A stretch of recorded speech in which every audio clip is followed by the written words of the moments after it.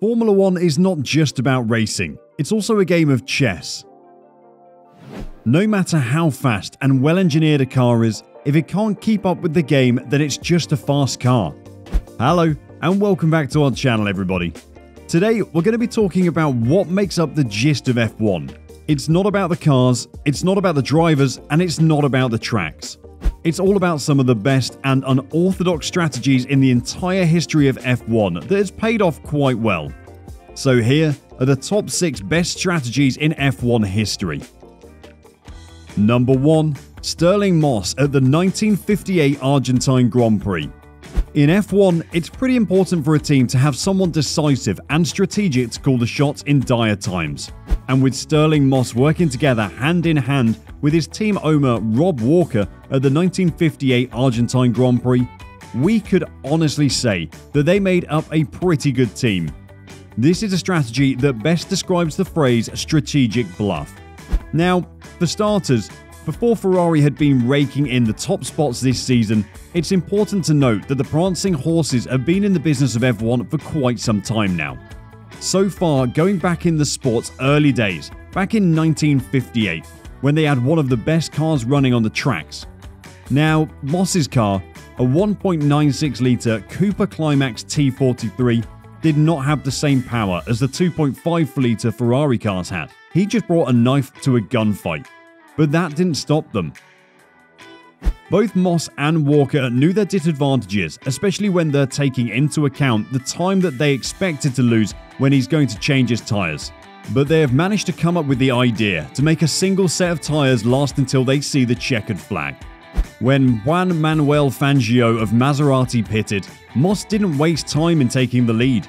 Ferrari driver Luigi Musso had only then realised that Moss didn't actually change his tyres when he stopped by to pit. It was essentially a fake pit. Now, it was too late to catch up. Moss, driving in the oilier parts of the track to reduce the damage on his tyres, kept his pace even when they were literally already begging to be changed.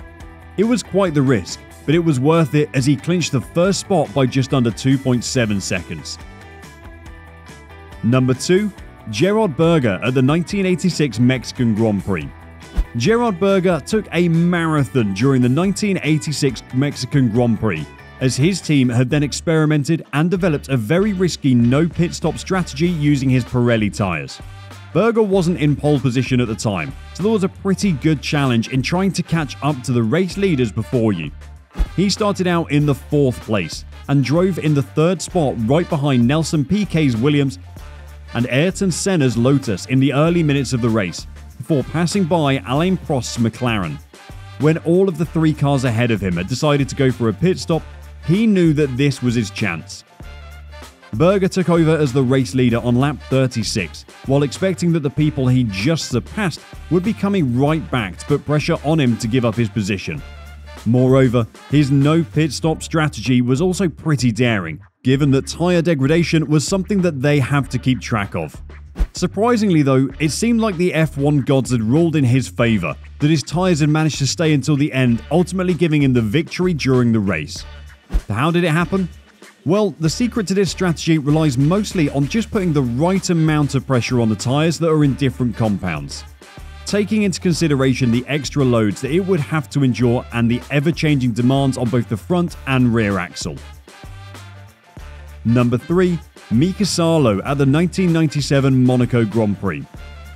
Underdog stories are something that everyone likes to hear, and during the 1997 Monaco Grand Prix, Mika Salo might have just given us the best one yet.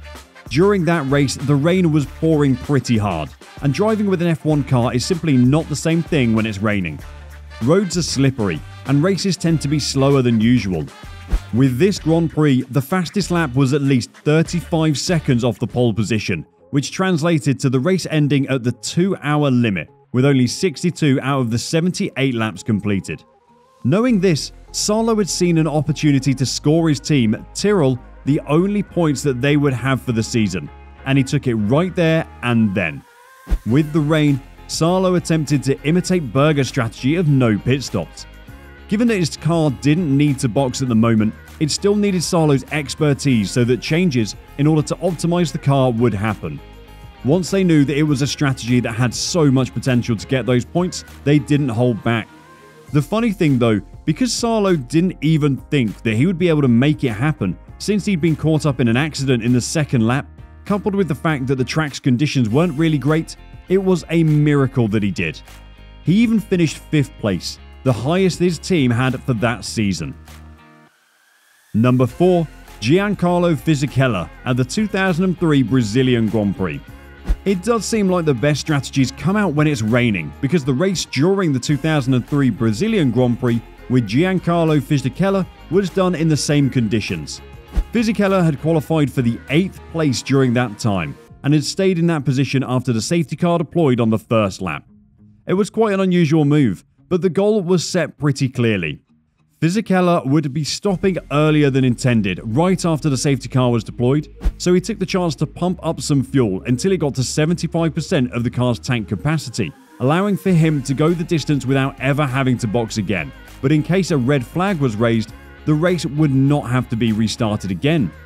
The tactic had worked as it was intended to do, as he then zoomed on to pass by Kimi Raikkonen, who was at that time leading the race and driving for McLaren. But then came along Jaguar's Mark Webber, crashing and losing a wheel that got tangled in Fernando Alonso, and the red flag was raised. Raikkonen was first declared the winner of that Grand Prix, but days later, after a lot of deliberations with the FIA correcting a timing countback error, Fisichella was then hailed as the winner. Number 5. Michael Schumacher at the 2004 French Grand Prix the man, the myth, and the legend. This would not be a good F1 history if it did not include an entry from one of the sport's greatest of all time, Michael Schumacher. Now, Schumacher has had a lot of memorable races to date, and it's hard picking the right one. But the 2004 French Grand Prix was a race that cemented why he is what he is today the Michael Schumacher. During this race, Schumacher's Ferrari had been behind then Renault's Fernando Alonso in the pole position. Ferrari had initially planned for Schumacher to commit to three stops, but master strategist Luca Baldisseri had come prepared and devised a four stop plan just in case his boy wasn't going to get some clean air. With Alonso pushing back and not showing signs of giving up his spot, Schumacher had then gone on for four stops. Schumacher raced with a very light load once he got to his second stop on lap 29. Alonso was forced to stop earlier, which meant that he would be coming out of the pit stops just behind Schumacher. Schumacher then fastened his pace and grabbed more than enough time in his third and fourth stint to come out of his final stop right ahead of Alonso. It's pretty neat because he spent more time stopping than Alonso and he still emerged victorious. Number 6. Sebastian Vettel at the 2010 Italian Grand Prix. Here's one strategy from one of the best active F1 drivers out there. It's from the four time F1 world champion Sebastian Vettel. He had just been driving for Red Bull during the 2010 Italian Grand Prix at Monza and had originally planned to stop around the 14th and 15th lap. But in the end, he decided to stay on his set of starting Bridgestones up until lap 52 just like what had happened recently with Williams' Alex Albon in Australia. He chose to pit right at the end of the penultimate lap to switch to the other tyre compound. The decision would then prove to have worked perfectly for Vettel, as it had allowed him to lap at a decent pace while taking advantage of the clean air. He then took on the opportunity to jump on Williams' Nico Hulkenberg, Mercedes' Nico Rosberg, and his fellow Red Bull driver Mark Webber. With everyone else ahead of him encountering their own problems, it paved the way for Vettel to take a pit stop and cross the checkered flag in fourth place. And that is it for some of the best racing strategies that we've seen in F1's entire history. Want to see something from our channel? Let us know by commenting on the section down below.